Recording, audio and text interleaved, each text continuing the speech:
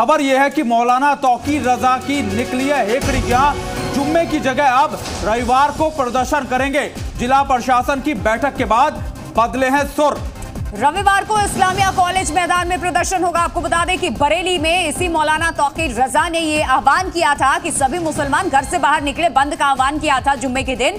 प्रशासन की तरफ़ से भी ये कहा गया था कि अगर किसी भी तरीके की कोई भी यहाँ पर उत्पात की जाती है और किसी भी तरीके से माहौल को खराब करने की कोशिश की जाती है, अल्टीमेटम दिया गया था। पुलिस की तरफ़ से भी अब मौलाना तौकीर जो है स्टेप आउट करते नज़र आए। सीधे जुम्मा यानी कि शुक्रवार से इसको शिफ्ट कर दिया। रविवार का दिन चुना है। बिल्कुल बिल्कुल, हमारे साथ हमारे सहयोगी हितेन जुड़ गए। हितेन, देखिए लगातार प्रशासन ये कोशिश कर रहा है कि जुम्मे की नमाज़ से पहले पुख्ता इंतज़ाम तो कर ली जाए, लेकिन ऐसे नेता, खासतौर पर अपने आप को मौलाना कहने वाले तौकीर रजा, कहीं ना कहीं इस पूरे मौके का फ़ायदा उठाने की कोशिश में लगे हुए हैं।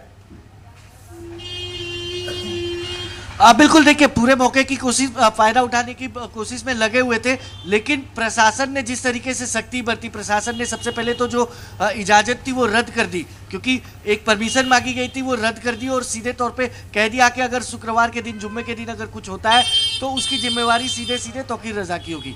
और जब वो जयपुर से लौटे तो आज दोपहर में वो जिला अधिकारी से मुलाकात करने गए। वहाँ पर साफ़ साफ़ जिला अधिकारी ने कहा कि शुक्रवार के दिन जो भी कुछ होगा उसकी जिम्मेवारी तोकीर रजा की होगी। उसके बाद उन्होंने कहा कि चलो ठीक है हम रविवार के दिन दोपहर में तीन से शाम पाँच बजे तक इस्ला, इस्लामिया कॉलेज के हम्म। मैदान में हम वो विरोध प्रदर्शन रखेंगे।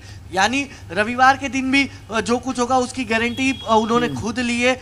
उसी के बाद जिला अधिकारी ने जिला प्रशासन ने तीन से पाँच की एक परमिशन जो है वो दी है लेकिन लेकिन हितेन ये जो जुम्मे के दिन से शिफ्ट करके रविवार का दिन लिया गया है। एक बात इससे स्पष्ट है प्रशासन भी अल्टीमेटम दे चुका था और योगी सरकार जिस तरीके से सख्त है उस सख्ती को देखते हुए रविवार का दिन चुना गया। यानी उम्मीद ये भी कर सकते हैं कि शांतिपूर्ण तरीके से होगा। एक बार फिर शक्ति बल संख्या बल दिखाने की ज़रूर लेकिन कोशिश होगी लेकिन शांति बनी रहेगी। बिल्कुल सीधे तौर पर प्रशासन की जो शक्ति थी, सरकार की जो शक्ति थी, उसी को देखते हुए कहीं ना कहीं थोड़ा पीछे हटे, ये हम कह सकते क्योंकि आप देखिए, उन्होंने पहले महिला और बच्चों को जुड़ने का ऐलान किया था।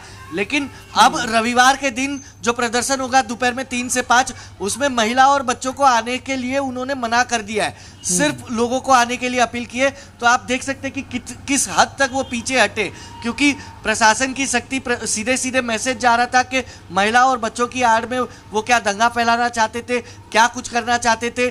जुम्मे के दिन ही क्यों पसंद किया? क्योंकि आठ तारीख को पहले आप बोल चुके थे कि जुम्मे का दिन नहीं लूँगा मैं क्योंकि जुम्मे के दिन अशरारती तत्व जो है वो भीड़ का हिस्सा बनते तो आपने जुम्मे का दिन क्यों डिक्लेयर किया? ये सब कई तरह के सवाल खड़े हो रहे थे और प्रशासन की शक्ति के बाद बिल्कुल बिल्कुल देखिए इतने हमको बता रहे थे कि किस तरीके से अब लगातार प्रशासन सख्त हो गया और इसको लेके लगातार प्रशासन के इसी डर के चलते अब डेट बदल दी गई है यानी दिन भी बदल दिया गया।